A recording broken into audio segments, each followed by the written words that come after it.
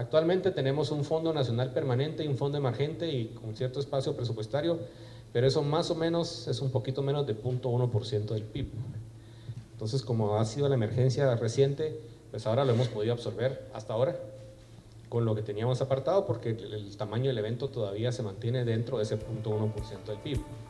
Con el apoyo del Banco Mundial, el Ministerio de Finanzas Públicas presentó esta mañana la estrategia financiera ante el riesgo de desastres, la cual presenta una serie de instrumentos para que el país cuente con mecanismos de gestión, planificación y herramientas financieras para la atención de emergencias causadas por cualquier tipo de desastres naturales.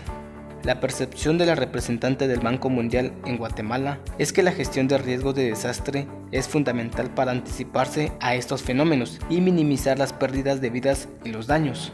Precisamente por la importancia que tiene la gestión de riesgos de desastres en el desarrollo de los países, desde el Banco Mundial apoyamos al gobierno de Guatemala en la creación de esta estrategia a través de una asistencia técnica del Programa de Aseguramiento contra Riesgo Catastrófico en Centroamérica y el Caribe.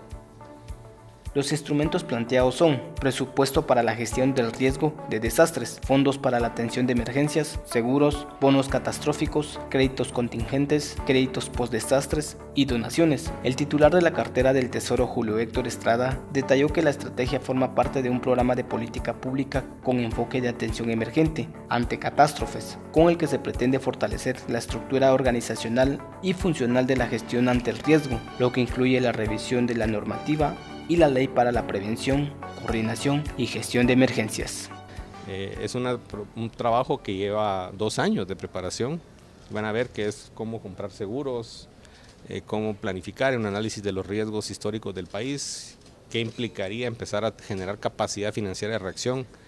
Entonces, yo lo veo como una casualidad, pero que también es, lo hace más vigente el tema, porque ahorita, por ejemplo, tenemos algunas herramientas como el Fondo de Emergencia, que alcanza para una emergencia que hasta ahora ha sido manejable, digamos. Esperemos que no siga creciendo porque la emergencia aún no concluye.